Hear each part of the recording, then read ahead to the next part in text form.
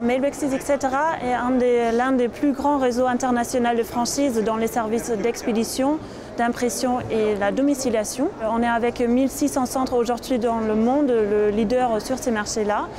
Et on a euh, des centres multiservices où on propose vraiment tout l'ensemble de nos services, c'est-à-dire dans l'expédition, on peut tout envoyer euh, du simple pli, par exemple, du jour au lendemain à New York jusqu'à la palette, grâce à nos partenaires comme UPS, FedEx, euh, Chronopost, DHL ou TNT. Euh, après, dans l'impression, on peut tout réaliser de, la simple photocopie jusqu'à des brochures, des flyers, des cartes visites, etc. Et pour la domiciliation, on a des boîtes aux lettres dans nos magasins euh, qui euh, sont accessibles pour les professionnels ainsi que des particuliers pour qu'ils puissent louer des boîtes postales ou même se domicilier dans nos magasins. On a aujourd'hui 34 euh, magasins en France. Euh, donc euh, en effet, on n'est pas encore très connu en France, mais grâce à nos partenaires qui ont quand même une autorité qui est assez forte comme UPS, DHL, etc. donc on a quand même cette notoriété-là.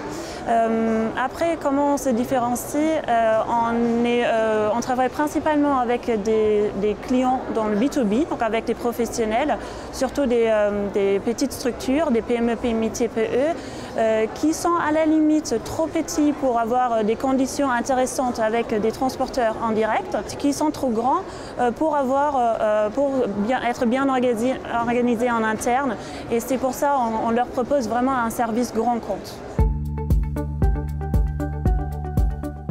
Il faut avoir un, apport personnel de 40 000 euros pour ouvrir un magasin Mailboxes, etc. Alors, on recherche des personnes motivées, ambitieuses, euh, des, futurs entrepreneurs qui souhaitent euh, exploiter vraiment leur, entreprise. Euh, dans notre concept, nos franchisés sont, assez, libres, c'est-à-dire on va leur donner un savoir-faire, un accompagnement, les partenariats, bien sûr des, tarifs négociés, mais après c'est vraiment à eux d'exploiter leur, leur entreprise, leur activité en étant encadrés. Donc on recherche des vrais entrepreneurs. Il faut après avoir aussi un, esprit commercial, euh, même si on ne recherche pas forcément des commerciaux de, de base, parce qu'on a aussi la formation de cette semaine euh, pour former nos futurs euh, franchisés.